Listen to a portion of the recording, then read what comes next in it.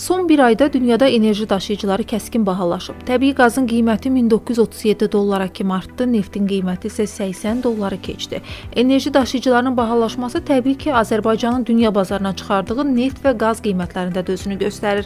Hazırda Azerlight markalı Azərbaycan nefti dünya bazarında 85 dollardan bir qədər baha ticarət edilir.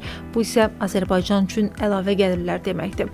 Bəs enerji daşıyıcıları niyə bahalaşır və ümumilikdə neftdən gələn gəlirlərin artması Azərbaycana nə vəd edir? İqtisadçı ekspert Natiq Cəfərli Mediapost açıqlamasına mövzunu şərh edib.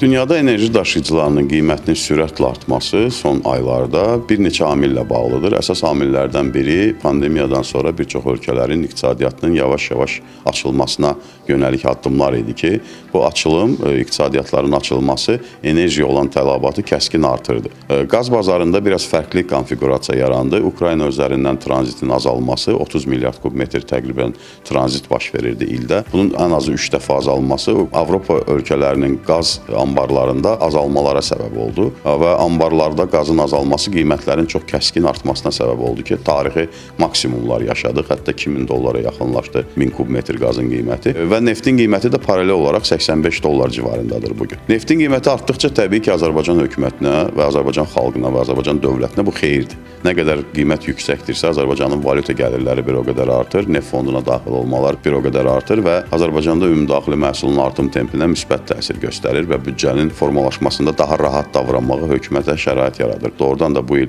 təqribən 5 milyard dollara yaxın əlavə Azərbaycana valyuta e, daxil olması gözlənilir ki, bu da sadəcə bir hədiyyə kimi nəzərdə tutulub da. Yəni bu, bu qiymət artımının bu qədər sürətlə getməsi gözlənilməz bir hal idi.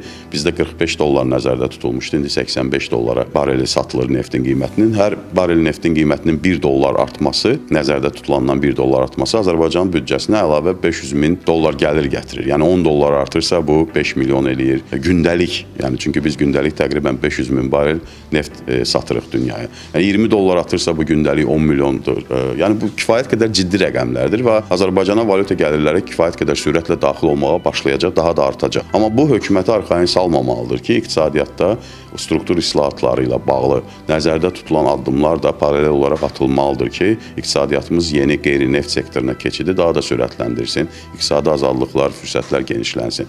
Əgər arxayınlıq yaranacaqsa, biz bunu 14-cü, 15-ci ildə də gördük, 17-ci, 18-ci illərdə də gördük. Arxayınlıq yaranacaqsa, təəssüf ki, neft qiymətlərinin, qaz qiymətlərinin artması hökumət həyatda nəzərdə tutulan struktur və köklü dəyişikliklərin sürətini kifayət qədər azalda bilər.